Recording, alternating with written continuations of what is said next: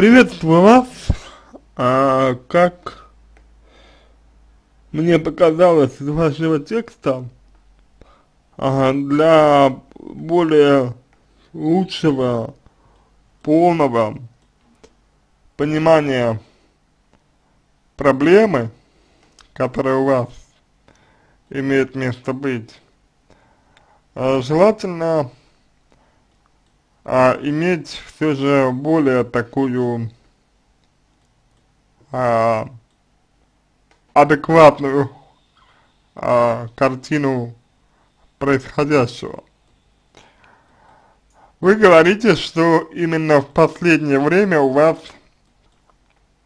появились панич панические атаки. То есть именно последнее время только. Это значит, что до этого подобных симптомов не, не было, скорее всего. Значит, что-то произошло, что-то произошло такое, что спровоцировало данный аспект. Это первое для того, чтобы разобраться в причинах вашего страха, а, нужно все-таки а, лучше понять его историю, историю его развития. Вот. То есть, если вы пишете, что так у вас было не всегда, а вот появилось только в последнее время, то, соответственно, в, в результате чего-то это началось.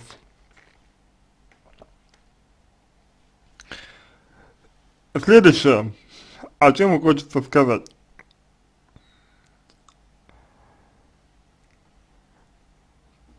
Страх – это причудливое сочетание потребности и опасности чувства опасности. То есть, иными словами, можно говорить о том, что когда человек боится, если это не является прямо, прямой угрозой для жизни, то в нем борется потребность в чем-либо и страх. То есть потребность в чем-либо и желание защититься.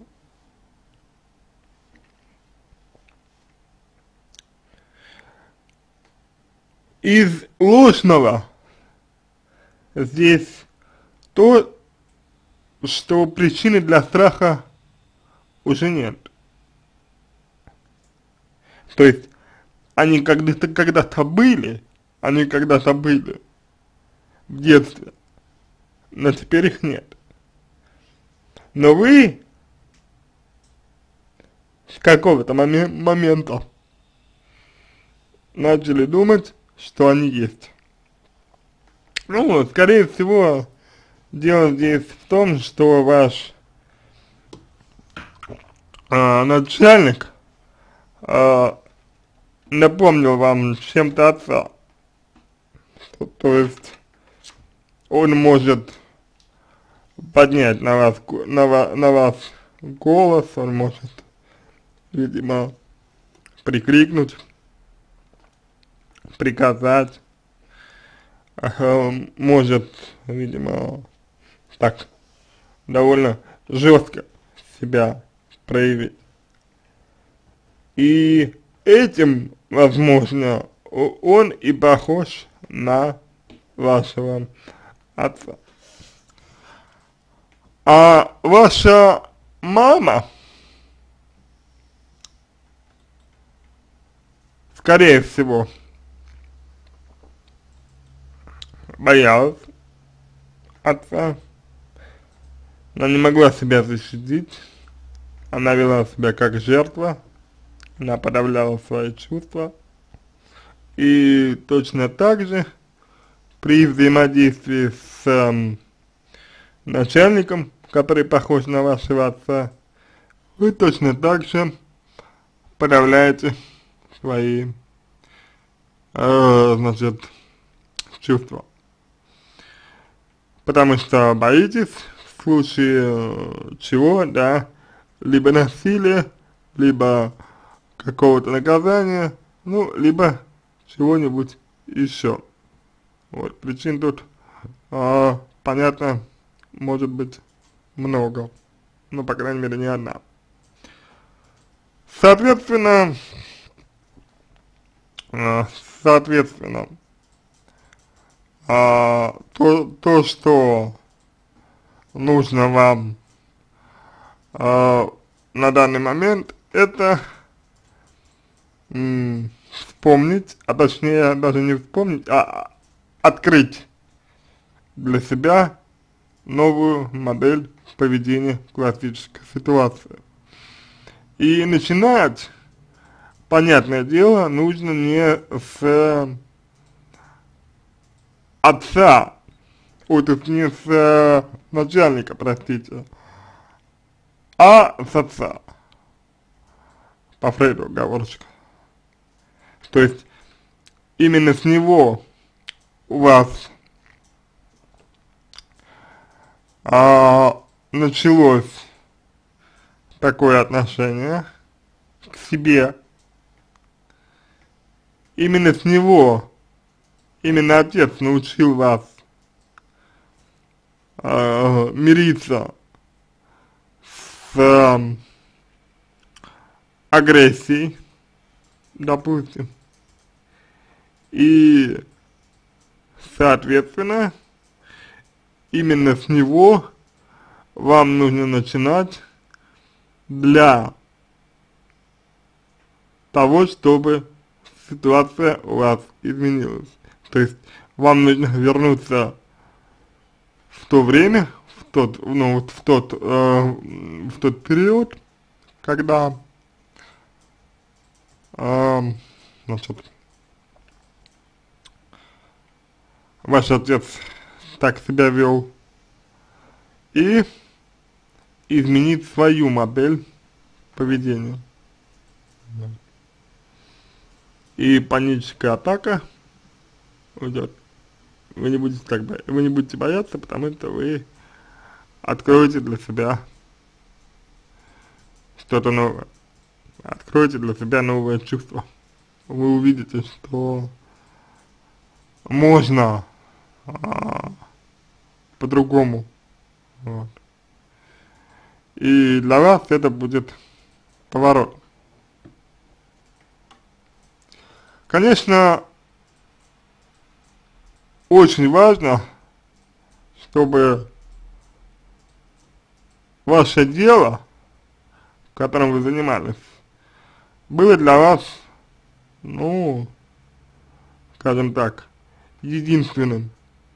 Чтобы дело, чтобы дело было для вас важным, нужным, чтобы дело для вас было действительно серьезным.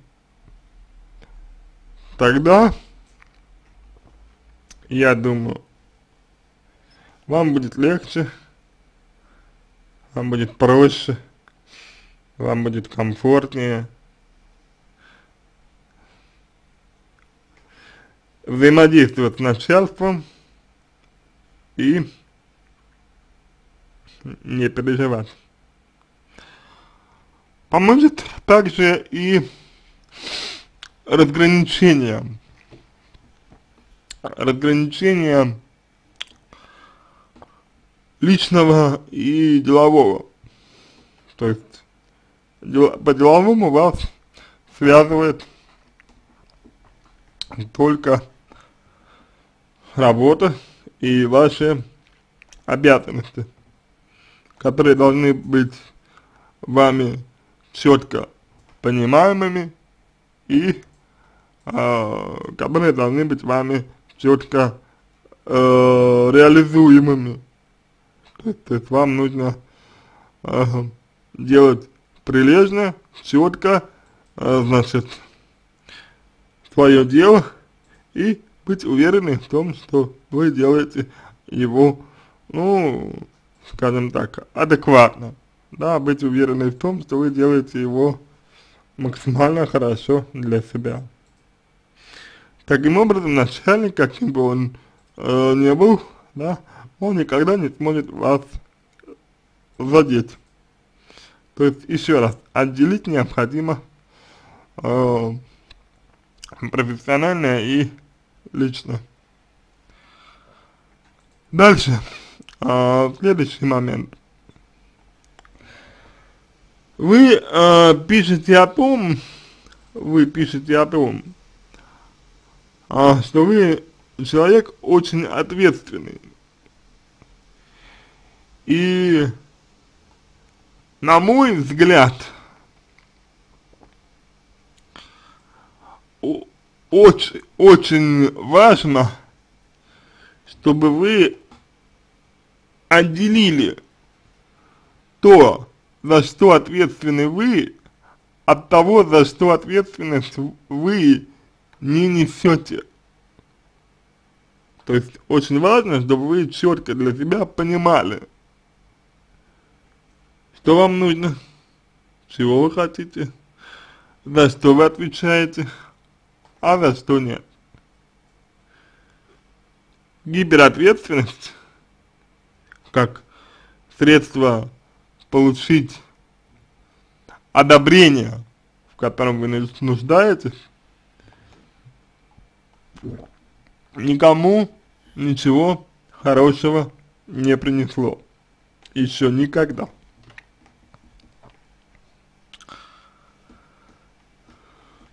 Дальше, дальше.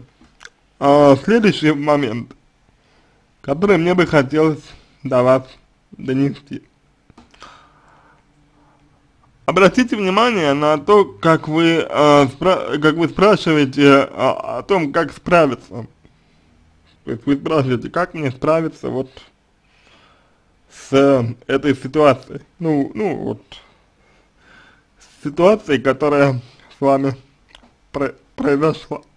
Да, то есть как справиться со страхом. А, что такое справиться? Что такое справиться? Справиться это значит подавить. То есть вы хотите подавить себе страх, а значит вы хотите подавить себе свои желания, что, еще раз повторюсь, приведет только к еще большему увеличению страха. То есть, чем сильнее страх подавлять, тем больше он увеличивается. Также э, я бы рекомендовал вам э, исследовать, исследовать то, чего вы хотите. Вот, знаете, я думаю, что исследовать вы хотите в качестве своей потребностной сферы. Ну, возможно, желание быть свободной. Возможно, самостоятельно принимать решения. Возможно, есть что-то еще, конечно, о, о чем я не знаю, но, тем не менее, тем не менее, это вполне может и, иметь место быть. Посмотрите на свой страх с такой стороны. Со стороны того, чего вы хотите. Дальше. А, я вам скажу а, такой момент, на мой взгляд, очень важный. То, что начальник, если он э, вас вот ругает, да, и так далее, э, он ругает вас не потому, что вы что-то взяли, а потому что ему так хочется. И дело-то не в том, что он вас ругает, ведь по сути вы понимаете, что ага, как бы ну, вы сами пишете, что переживать не о чем. Дело в том, что от него, от начальника, слишком многое зависит. И вот нужно понять, что именно зависит. Нужно понять, что конкретно зависит от начальника в контексте вас, чтобы у вас было меньше мотивации а, насчет, ну, пытаться ему угодить. Вот. Я думаю, что примерно такая история, примерно так можно ответить вам на ваш вопрос. Э, нет такого средства, э, которое бы помогло вам, прослушав один ответ или прочитав, э, избавиться моментально от того состояния, в котором вы находитесь. Но вы можете подумать, все-таки, все-таки, э, что стоит за вашим страхом? Что вам хочется? Уверен, если вы подумаете, вы сможете ответить себе на этот вопрос. Я, например, думаю, что вы хотите выражать свое мнение, вы хотите больше самостоятельности, я думаю, что вы хотите э, больше свободы, я думаю, что вы хотите больше автономии, вот, и ваш страх, он про это, про эту потребность, но, но вы ее подавляете, как подавлял когда-то ваш отец, вашу маму и вас, и поэтому все это выливается вот в, так, э, в такое проявление, потому что чувства-то есть, просто вы их не выражаете, но от того, что вы их не выражаете, они не деваются, но они не уходят, эти чувства. Вот.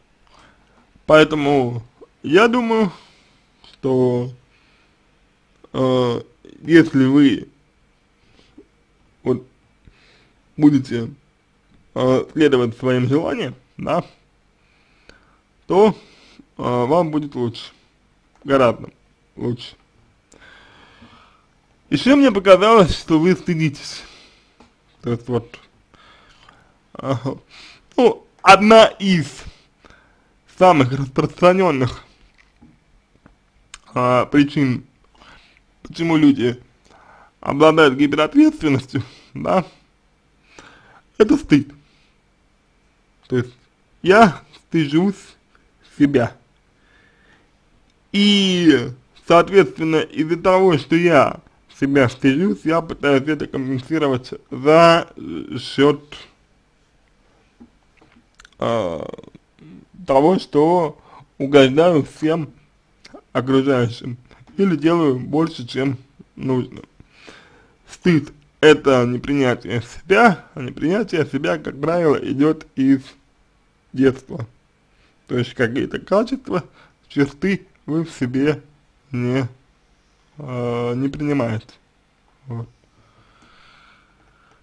Как, какие-то качества, э, черты вы себе отвергаете, и, собственно, данный аспект, на мой взгляд, э, тоже требует своей коррекции. Вот. А это, это, значит, э, то, что я хочу вам сказать. История про личные границы, да, то есть за что я ответственен, за что нет. имеет самое э, важное отношение к вам, самое прямое отношение к вам. И, и на мой взгляд, э, очень важно, чтобы вы э, значит, озаботились данным аспектом, данной ситуации, чтобы вы э, подкорректировали свою ответственность и за что-то ответственность брали, а за что-то нет. Понимаете, э, природа мудрая, э, природа мудра, скажем так. И, и э, когда вы, например, будете брать ответственность э, в большей степени за себя, да, то вам не нужно будет уже э, брать ответственность за других, потому что в этом отпадет надобность. Вот. Так что все здесь э, находится в балансе. Я надеюсь, что вы это для себя тоже сможете открыть. Вот. Что еще а, можно вам сказать? А, я не знаю, почему вы работаете, я не знаю, для чего вы работаете, я не знаю, кто вы по профессии, я не знаю, какая у вас специальность, но одно я знаю точно. Если человек занимается своим делом, если это дело ему нравится, если он, он предпочитает расти и развиваться, а рост и развитие это всегда взаимодействие и коммуникация, то человек открыт критике человек открыт критике, человек открыт эм, сомнениям, понимаете? Если человек не открыт критике и не открыт сомнениям, то в таком случае нельзя говорить о том, что э, он находится на своем, грубо говоря, месте. Вот в том смысле, да, что, ну, просто вот э, человек хочет, да, кому-то что-то доказывать, быть всегда лучшим и так далее. В этом смысле, в этом смысле я рекомендую вам э, вызовы начальника воспринимать как своего рода э, испытательный полигон. Вот, то есть, если вызвал начальник, значит, э, это возможность для вас проинспектировать э, свою деятельность, проинспектировать то, чем э, вы занимаетесь, проинспектировать то, что вы делаете, и лишний раз проверить, э, насколько хорошо вы делаете, грубо говоря, свою работу. Вот если вы будете воспринимать а, критику своего начальника вот так, то я не думаю, что вас она будет пугать. Ну, э, эта критика. И вас не будет пугать сам начальник тоже. Но для этого необходимо, чтобы дело, которым вы занимались, чтобы оно вам нравилось, чтобы э, это дело вызывал, вызывало у вас интерес эм, именно процессом, а не результатом. Вот. Ну, кстати, это то, о чем вы э, можете подумать еще, например, о том, э, для чего вы занимаетесь тем, чем занимаетесь, для дела или э, для результата. А, чтобы снизить мотивацию, да, вот, например, он, ну, нравится начальнику или его там не расстраивать, вам нужно активно развивать другие свои сферы, да, например, сферу личную, например, э, сферу социальную, ну, вот, и так далее. Это очень э, важный момент для вас, если вы хотите э, стать более независимыми. Вот. Это то, что я хотел вам сказать.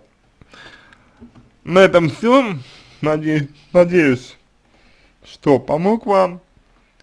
А, если у вас остались вопросы, вы можете задать мне их в личку, я буду рад помочь вам. А, если вам понравился мой ответ, буду благодарен, если вы сделаете его лучшим. Я желаю вам всего самого доброго и удачи.